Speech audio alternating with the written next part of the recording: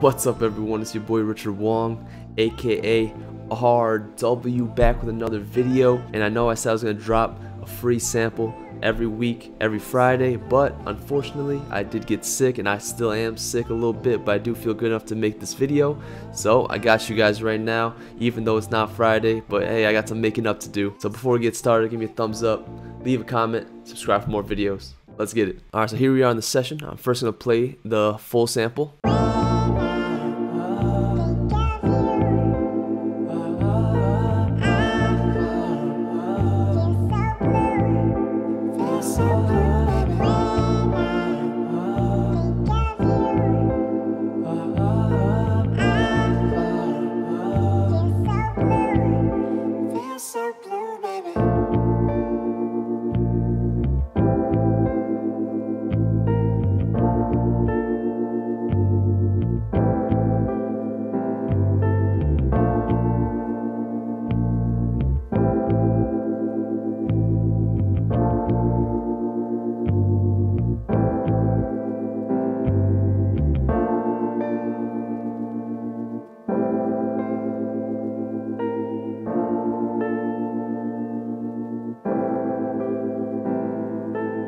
That's the sample. As you can hear, I was going for this vintage piano with some vocals on top of it, some bass. I tried to stick with real instruments, no synthetic instruments, mainly because I wanted it to be more of like a vintage soulful vibe. And that's actually a huge tip in making samples like this. Think about the era you're going for or like the inspiration. It doesn't have to be, you know, you don't have to do exactly what their other people are doing or what they did back then. But if you want to have some sort of vibe like that, try to use the instruments they use. For example, for like more soul stuff like that, they usually used real instruments like pianos, vocals, even some horns, some strings. So that's what I really decided to stick with. Let's break it down. First, we start with this piano. It's from Piano V3 by Arturia. It's actually uh, my custom preset that I made myself just to get the piano exactly how I wanted it. I'm actually thinking about dropping a piano analog lab bank, but we'll see, we'll see. So start off with these chords.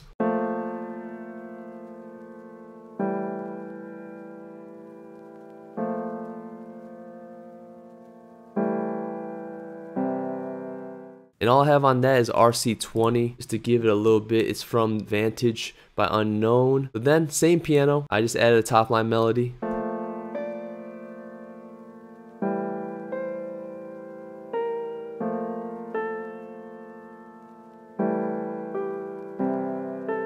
After that, I followed it up with an electric piano from Analog Lab from Arturia. Um, it's just the exact same chords, except I have them rolled just to, you know, give it a different vibe.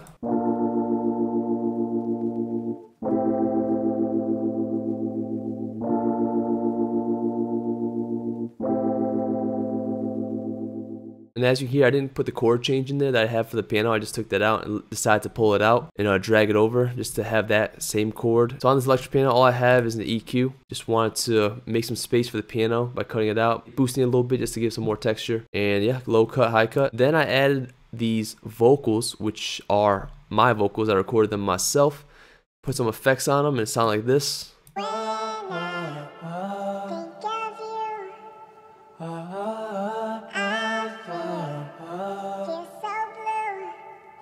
Alright, so first I started with this right here. I just labeled it the choir because I did add some effects to it. This is actually my vocal, and then um, all I did was add Metatune, Slate Digital. Very light, not too crazy. Um, the FGMU, which is a Fairchild emulation. I really like how it sounds on vocals.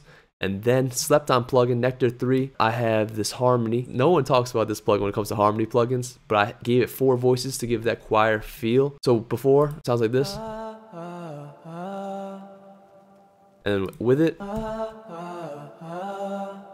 just to make it sound as more people. And I have that bust out into a Valhalla vintage verb right here. It's the default setting. Uh, I just increased the low cut. And then I sang this right here. Same effects by the way except this one looks like has the EQ on it as well just to lower the highs because I did pitch it up 12 semitones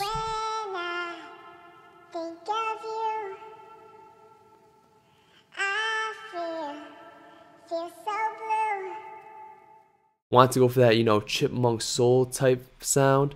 And that's why I pitched it up like that. Finally, I just wanted to add like, you know, a little phrase. And uh, this, this right here, this is the original.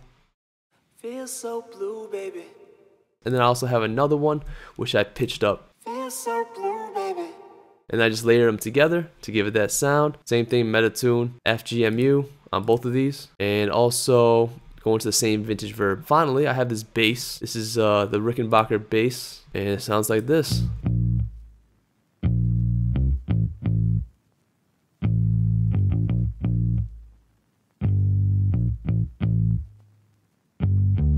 want to give that nice bouncy feel. Uh, I have an EQ on it. Just just to get rid of some of the highs. And just a little bit of lows just because I just wanted the bass to be sitting more up here to give it more presence. Don't need that low low. And I have a guitar rig as well. I have it on the basic bass pro preset. And then I just changed the input just to get that perfect amount of compression. Just because I didn't want it to get squashed. So on the master bus I have RC20 unknown vantage master chain 1 from the unknown vantage pack. I did change it a little bit just to get that sound I was going for but honestly, this preset right here, fire. I've been using it a lot. Then I have Gullfoss just to give it some separation and open it up a little bit. You could also just do it with EQ, but I just liked how it sounded. Finally, I have the Slate FGX and just a little bit of compression. I think I'm hitting like negative one.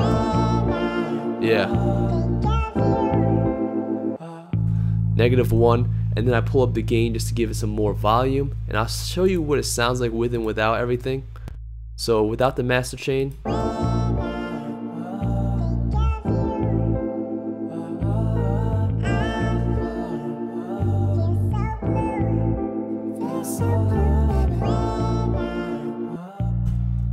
And now with the master chain, of course there's going to be a volume difference, but try to listen to more of the nuances and the textures.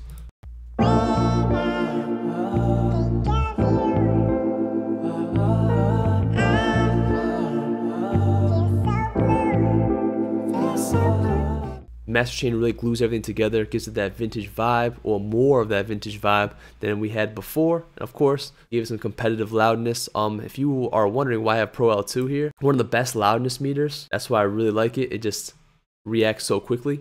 So honestly, if I'm not using it as a limiter, I'm using it as a meter. But yeah, that's gonna be it for this one. As always, follow me on social media at Mr. RW. It's M R A R E D O U B L E Y O U on Instagram, Twitter, and TikTok, all linked down below. And don't forget to subscribe, give me a thumbs up, and leave a comment for more videos. I will have more of these coming. I will have another one coming on Friday.